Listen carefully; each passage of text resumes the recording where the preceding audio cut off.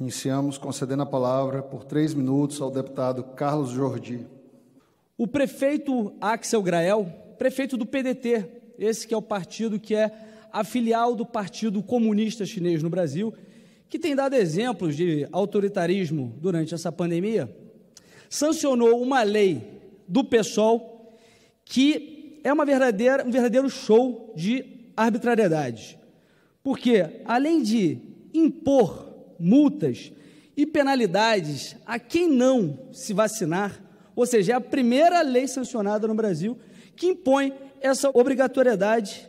Ela também retira benefícios sociais, programas sociais, auxílio financeiro temporário, renda básica temporária e até entrega de cestas básicas para quem não se vacinar. Ou seja, querem obrigar os pobres, os pobres, a se vacinarem.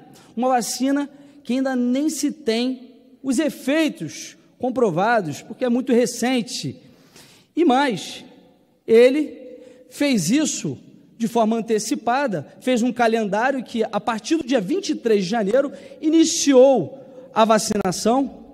Na primeira fase, os maiores de 90 anos, e agora já entrou na segunda fase, no dia 6 de fevereiro. Só que nem mesmo aqueles da lista de prioridade da primeira fase da vacinação foram vacinados. Faltou vacina para aqueles que estão nessa prioridade da primeira fase. E aí, ele, demonstrando também uma verdadeira lambança, vacinou secretário de saúde, pessoas do seu governo nessa primeira fase.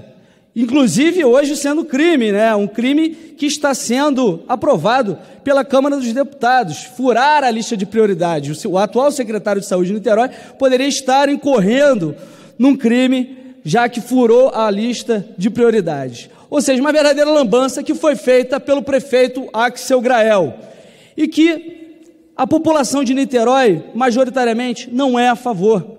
Porque a vacinação ela tem que ser voluntária e tem que ser gratuita, mas não obrigatória. E por isso, eu, com o vereador Douglas Gomes de Niterói, estamos recorrendo ao Roberto Jefferson para que o PTB possa entrar com uma ação direta de inconstitucionalidade, inconstitucionalidade contra esse abuso do prefeito de Niterói, um projeto de ditador que é o filhote do Rodrigo Neves.